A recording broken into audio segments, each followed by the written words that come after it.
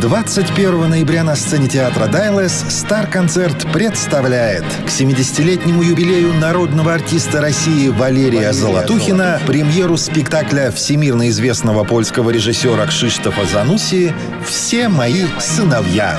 В ролях народная артистка России Екатерина Васильева, Алексей Савченко, Анастасия Веденская, Денис Баландин и другие. 21 ноября в 19.00 театр «Дайлес».